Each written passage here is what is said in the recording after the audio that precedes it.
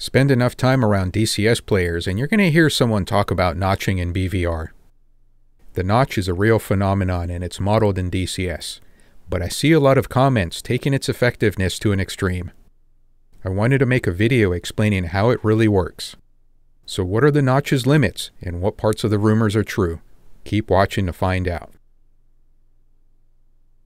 The technical foundation of the notch is covered in this video, so if you haven't already, check it out but in short, it's a technical limitation of radars with the ability to filter out noise caused by reflections from the ground. In DCS, we can see it demonstrated in this scenario. Here I have several targets flying at a lower altitude at a heading 90 degrees off my aircraft's heading. In other words, they are falling into a speed range where their closure velocity with my radar emitter is zero. And that happens to be the same as the terrain behind them. When they get to here, right in front of the nose, they vanish off the radar screen. We don't see the target's return until about 20 degrees to the side of the nose. So there's a narrow 20 degree window where the effect occurs. Outside of that, it doesn't happen. This is the radar's Doppler velocity notch. On some radars, this phenomenon only happens in the presence of ground clutter. In other words, when there is terrain behind the target. So when the radar is looking down, then there's a possibility for the target to get lost due to the Doppler notch effect. But when the radar is looking up and there's no backscatter from the terrain, then the target is clearly visible. Here we can see the same scenario from earlier, but using a different radar. These targets are flying several thousand feet above the radar emitter. This time, the targets don't disappear into the radar's Doppler notch. But if we rerun the scenario with the targets at a lower altitude, they do fade into the notch. So being above the radar in some cases will negate the benefits of the notch. Besides this being a very narrow window, there are some big challenges to overcome. One is that on a lot of fighters, the only indication of any adversary's position outside of the forward radar cone is going to be through this display, the radar warning receiver. This is not a precision instrument, and so you're likely to see a display where azimuth indications are limited to something like 16 positions around the circle. That comes out to 22.5 degrees between positions. We know that the window for the notch is around 20 degrees and it starts on the attacker's nose. That gives an overlap that looks like this. You have 20 degrees inside the radar's filter and 22 and a half degrees of displayed notching on this side. That comes out to about 11 degrees where the RWR says you are in the notch when you're still visible on the enemy radar. Then you get about 11 degrees where it accurately depicts your position inside the notch. That's followed by around 9 degrees where you're still in the notch, but your RWR says you aren't. Do you need to memorize these numbers? Nah. Just remember that the RWR may not be the best sensor to rely upon for getting into the notch. Something like this helmet-mounted display could help here.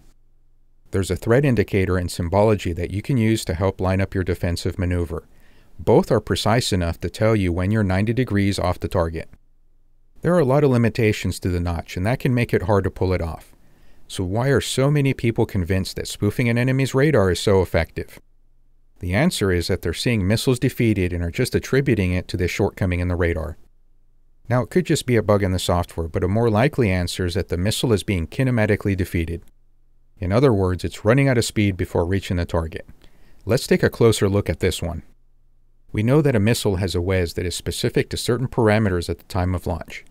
You can watch this video for a detailed walkthrough on this.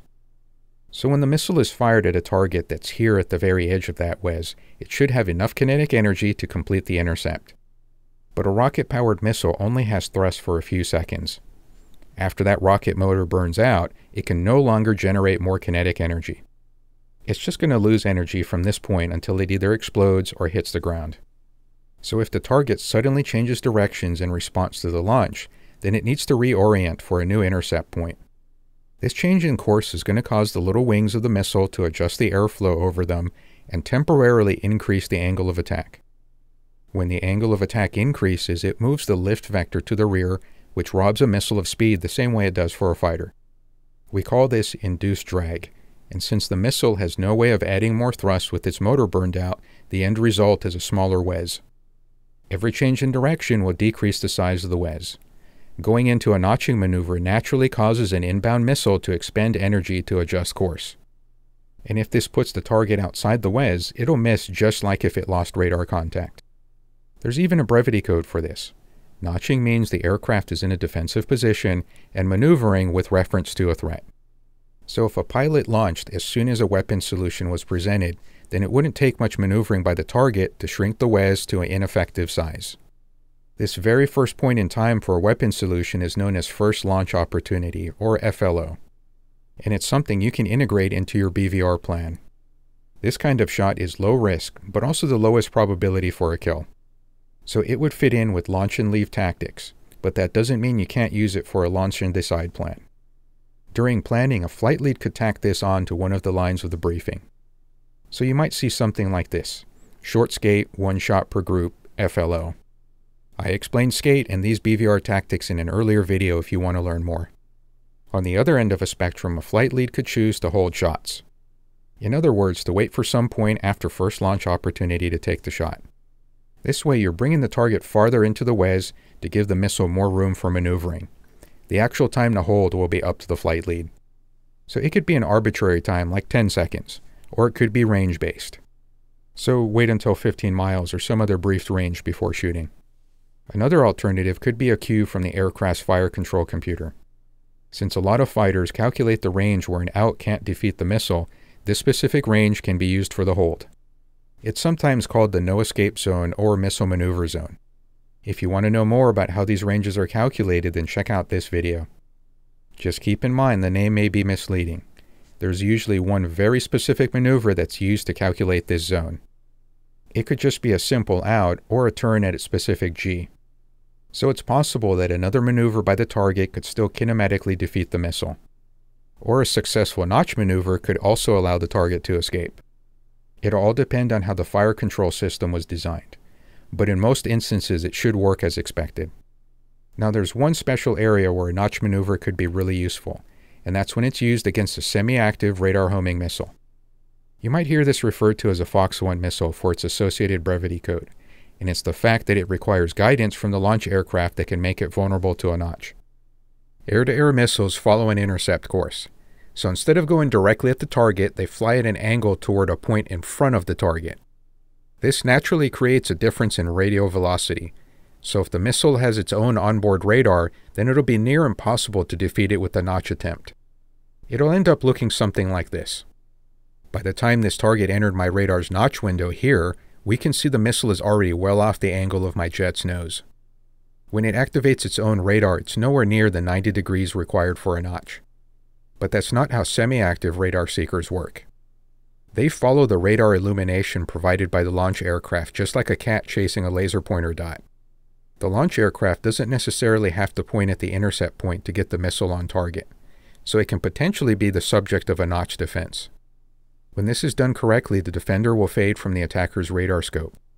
This not only defeats the in-flight semi-active seeker, but it also temporarily denies situational awareness too so the notch defense is particularly effective in an engagement where semi-active seekers are involved. This was a lot of info, so let's do a quick recap. Taking radial velocity close to zero can take advantage of a filter in Doppler radars to make a target disappear from the returns. In some radars, this only works in the presence of ground clutter, which is typically when the target is at a lower altitude. Though there are radars that have an upward-looking filter too that's also susceptible. The notch only affects radars with the Doppler capability. This pulse radar, for example, doesn't have Doppler filtering.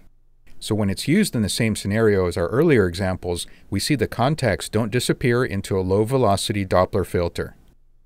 But they can get lost in ground clutter, which we can see happening here. Zero velocity usually happens when flying perpendicular to the path of the radar beam. The filtering happens for around 20 degrees after this point. You can use sensors to tell when this happens, but not all are precise enough to clearly indicate when you're in the notch.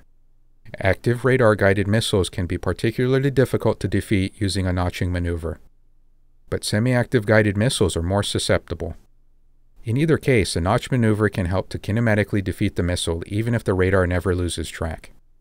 So I hope this video provided some insight into how the defensive notch maneuver works and what some of its weaknesses are. Let me know your thoughts in the comments, and as always, thanks for watching.